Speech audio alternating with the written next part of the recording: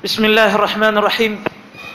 Meus queridos e amados irmãos, não existe alguma dúvida que a nossa época é a época mais conturbada de todas as épocas. Se nós conhecermos a época do nosso querido e amado profeta de Allah, Muhammad sallallahu alaihi wasallam, a época dos seus companheiros, a época daqueles que foram alunos dos companheiros do profeta Muhammad sallallahu alaihi wasallam, até chegar onde nós estamos hoje, todos nós somos unânimes em afirmar que a fitna, seja fitnat shubuhat, seja fitnat shahawat, fitna shubuhat, estamos a falar fitna da dúvida, ter dúvida sobre alguns assuntos que têm a ver com o Islã ou shahawati são aquelas dúvidas do, ou fitna dos desejos, aquilo que te chama para cometer haram. Se nós olharmos todas as épocas, olhamos esta nossa época como a época mais conturbada. Algumas pessoas, muçulmanos, alhamdulillah, com um bom espírito, uma boa vontade, dizem, mashallah, como eu gostaria de ter vivido na época do profeta Muhammad sallallahu alaihi wasallam. O que seria de mim se eu, Allah, tivesse me feito, né? Na época do mensageiro de Allah Muhammad wasallam eu me tornar muçulmano. Algumas pessoas vão mais longe. Eu gostaria, mashallah, de estar na época de Sayyidina Abu Bakr. E se eu estivesse nessa época, estaria muito livre ou mais livre dessa toda fitna que existe hoje. Hoje você não consegue abster-se de qualquer pecado. Hoje você não consegue se afastar de. Quer dizer, o pecado vem até na tua casa. Naquela época havia pecado, mas era tudo controlado. Aquela época era a época da, mashallah, época do louvor. Para isso, esse desejo, muitas das vezes, pode contrariar a verdadeira sunna, pode contrariar a verdadeira crença. Não estou a dizer que a pessoa não pode desejar estar na época do mensageiro de Allah, Muhammad sallallahu alaihi wasallam. Quando os companheiros do profeta Muhammad sallallahu alaihi wasallam encontravam pessoas que lhes falavam sobre isso, dizer, mashallah, vocês viveram a melhor época. Eles não gostavam, eles não ficavam assim orgulhosos de dizer, mashallah, nós vivemos na época do profeta Muhammad sallallahu alaihi wasallam, então estamos, eh, vamos lá, estamos salvos, somos melhores do que vocês. Consta no livro de Imam al-Bukhari, no seu Adab al-Mufrad, o mesmo hadith foi narrado também por Imam Ahmad ibn Hanbal, rahimahullah, no seu Musnad. Este hadith é narrado por Sayyidina Abdurrahman ou por Abdurrahman ibn Jubair ibn Nufair. Ele narra esse, esse hadith através do seu pai, que chama-se Jubair ibn Nufair. Ele disse: "Kunna jalisan yawma ma'a Miqdad ibn Aswad." Miqdad ibn Aswad é um companheiro do profeta Muhammad sallallahu alaihi wasallam, aquele cavaleiro que esteve na batalha de Badr. O único cavalo que estava na batalha de Badr era de Sayyidina Miqdad ibn Aswad, radiyallahu ta'ala anhu wa arda. Sayyidina Miqdad ibn Aswad estava sentado com os seus companheiros a conversar e passou um homem. Um homem quando passou viu Miqdad ibn Aswad disse assim: "Tuba li hatayn aynayn allatayn ra'ata Rasulullah." Abençoados são os teus olhos, olhos esses que tens viram o mensageiro de Allah Muhammad sallallahu alaihi wasallam lawaditna anna ra'ayna ma ra'aita gostaríamos nós de termos visto aquilo que você viu. Wa shahidna ma shahidta. E testemunharmos aquilo que você testemunhou. Fastaghlaba Miqdad. Miqdad ficou zangado. Tão zangado as pessoas à volta dele disseram ma illa khaira este homem não falou senão bem. Por que que Miqdad Miqdad ibn Aswad está zangado. Que significa, ele disse só para Miqdad, os teus olhos são abençoados, porque os teus olhos viram o mensageiro de Allah, testemunharam no mensageiro de Allah algo que nós gostaríamos de ter testemunhado. Viram bons momentos com o mensageiro de Allah, coisa que nós gostaríamos de ter visto. Quer dizer, só por causa desse elogio, Miqdad ibn Aswad zangou-se. E as pessoas à volta disseram, este homem não falou nada de mal, não insultou. Isso também aconteceu com Sayyidina Hudayfa ibn Yaman. Hudayfa ibn Yaman era aquele que guardava segredos do mensageiro de Allah.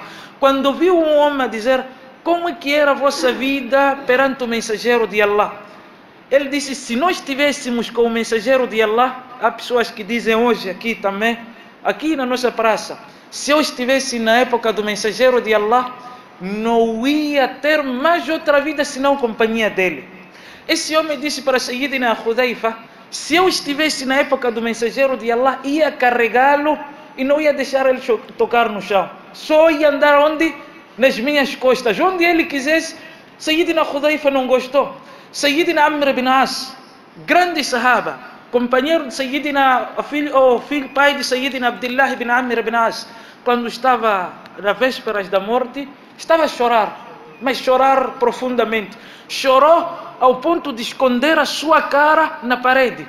Seu filho, Hudaifa, ou Sayyidina Abdullah, foi ter com o pai para acalmar o pai. Pai, aquele momento está, está quase prestes a morrer. Então ele começou a acalmar o pai. Pai, você foi companheiro do mensageiro de Allah, Muhammad sallallahu alaihi wasallam, acariciar ele.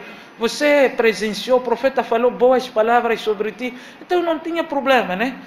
Pai, fica calmo. Ele está doente, mas está a chorar. O pai olhou para o filho, Sayyidina Abdullah disse-lhe para ele: Ó oh, meu filho, eu testemunhei com o mensageiro de Allah três momentos. Primeiro, não existia alguém que eu mais odiava do que o profeta Muhammad, sallallahu alaihi wasallam. E naquela altura, se eu morresse, eu era o homem do inferno. Segundo momento, eu quando Allah me chamou para abraçar o Islã, fui ter com o mensageiro de Allah, Muhammad sallallahu alaihi e disse para ele: "O mensageiro de Allah, eu vim fazer o meu shahada, dar o meu voto de lealdade a si."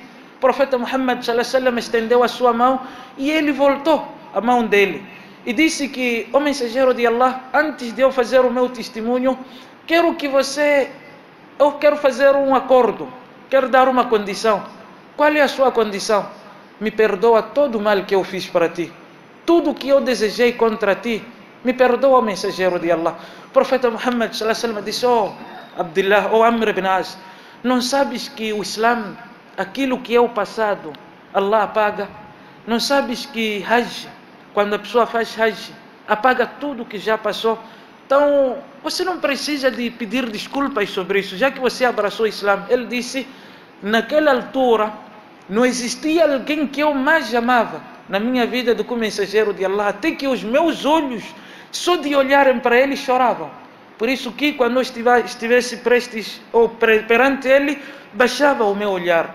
Se vocês me perguntarem hoje, qual é a característica do mensageiro de Allah? Eu não sei, porque nunca olhei para ele.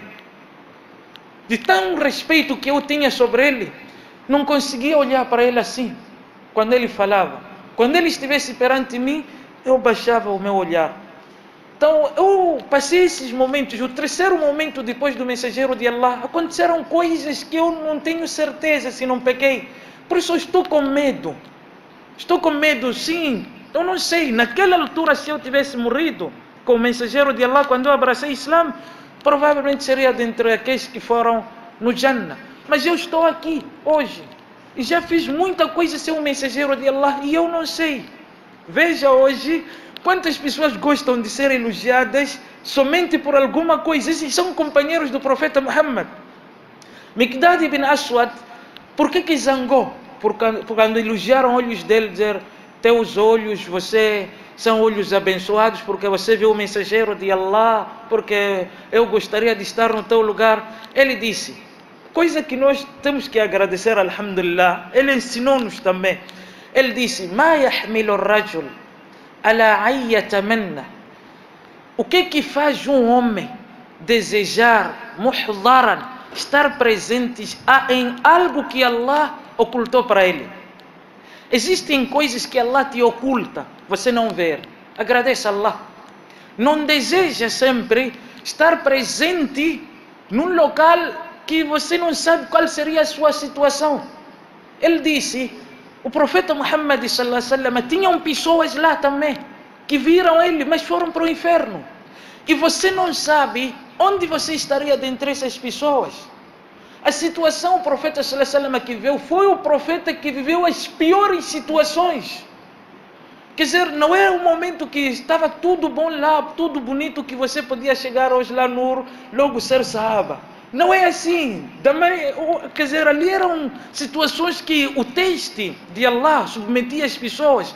As pessoas só tinham que ser escolhidas. Então, vocês não agradecem a Allah somente por terem conhecido o vosso Allah. O que vocês conhecem só é o quê? Allah. وَتُصَدِّقُونَ بِمَا جَاءَ بِهِ نَبِيُّكُمْ E vocês acreditam aquilo que o profeta Muhammad sallallahu já trouxe. وَكُفِيتُمْ من البلاء بغيركم algumas coisas alguns balás Allah fez outros pagarem não vocês que vocês podiam ter pagado vocês podiam ter fugido na batalha provavelmente não iam ter conseguido outros já pagaram por vocês por que, que não agradecem em vez de agradecer alhamdulillah por Allah ter me feito muçulmano hoje e não naquela altura provavelmente eu não seria muçulmano não é assim só assim dormir desejar se eu estivesse naquela época seria grande sahaba. Não é assim. Não é desejar se eu estivesse no tempo de Nuh alayhi salam. Está a ver Nuh alayhi salam? Está a dizer ao seu povo, ó oh, meu povo, a bocado Allah vai mandar dilúvio. Está quente. Temperatura 51. Vocês todos iam acreditar. São todos que acreditam hoje. Se alguém vos aparecer aqui dizer, eu sou enviado de Allah. Allah disse que há de chover, está 51 graus. Aquele que quiser abençoar, estar abençoado por Allah, que vá à mesquita. Quantos vão à mesquita? Aquele é maluco, aquele. Aquele não bate sem. Aquele é ficar aqui na mesquita sozinho, fechar a porta, aparecer a chuva, pum, todos morreram. Você não sabe qual é o teste. Aqueles não disseram que não acreditavam no nuvem porque não estavam a ver nuvem lá em cima. Está quente. E esse homem está. Aqui nunca choveu faz tempo. E esse homem está a dizer vai fazer arca, vai chover, vai destruir isso tudo. Mas esse homem está maluco. Nuh alayhi salam, pessoal, vamos lá entrar, Allah vai vos castigar. Você está maluco, você. Aqui se não chove 50 anos, como é que logo vai chover e vai destruir isso? Entrou na arca dele e fechou. Pessoal, vamos lá entrar. Não, você está. Quando viram, pá, pá, pá, ei, agora já é tarde. Se nós estivéssemos lá, quantos dizem que eu estaria no com Nuh alayhi salam? Quantos? Alguém tem certeza aqui que estaria com? Se hoje não acreditamos tudo, até ver. Então muitos morreram por querer ver. Temos que acreditar e dizer Alhamdulillah, Allah nos fez muçulmanos hoje e é bom momento para nós que Allah decidiu para que nós fôssemos muçulmanos e tentar fazer o nosso melhor com aquilo que o nosso querido e amado e profeta de Allah Muhammad já fez para nós, nós temos que ser gratos. Wa jazakumullah khair.